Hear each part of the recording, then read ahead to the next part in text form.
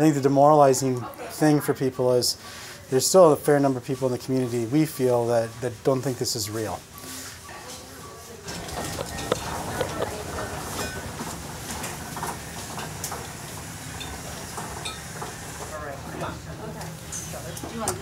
If we can get them out to the floor, then we can open this bed up for another patient.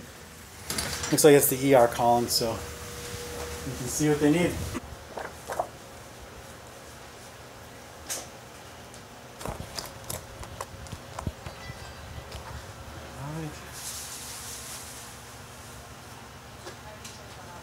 Uh, we're doing pretty well. We've got about a 10% mortality rate uh, when somebody's admitted to the hospital, which is slightly better than the national average of 15%. So we're doing, uh, we're getting good at treating the people we can save.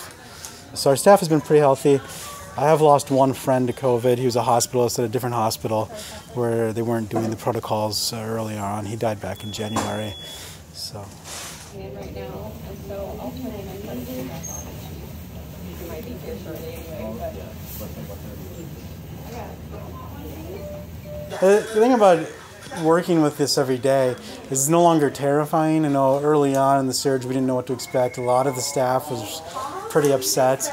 Uh, we had one uh, person who didn't want to come to work.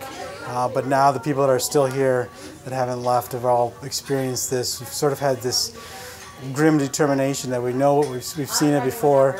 Uh, we know this next surge isn't going to be fun. It's going to be a lot of work. Uh, we're probably going to lose a lot of patients. And I think uh, the staff is still that's here isn't no longer terrified at least.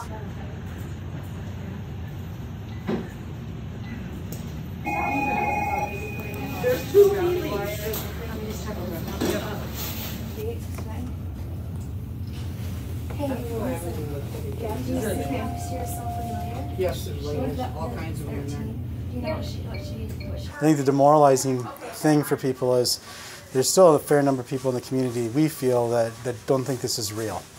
Unfortunately, people politicize this. People say that we're just making it up to make more money.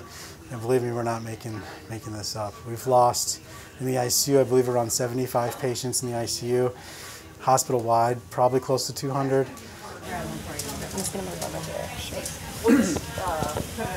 Or right here, right?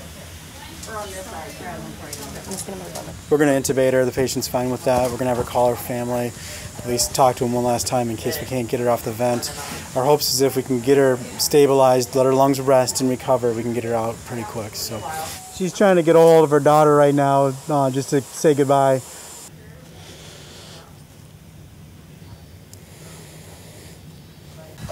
So, so another unplanned issue with having all these COVID patients is it takes up resources that could be used for other procedures that need to be done. And I have cardiac patients that need life-saving procedures have to be postponed because there's no place to put them in the ICU or in the hospital.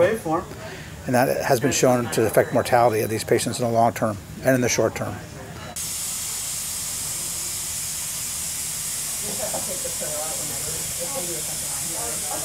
Um, at this time, it's really hard.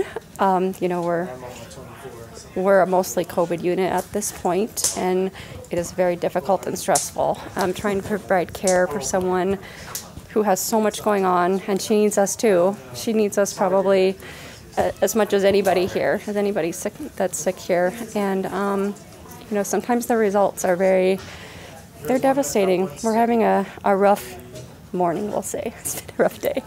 So we always do our best for every single patient, no matter what they come here with, and we are we're just seeing results that are that are tough to handle, tough for any nurse, tough for families, and tough for just everything.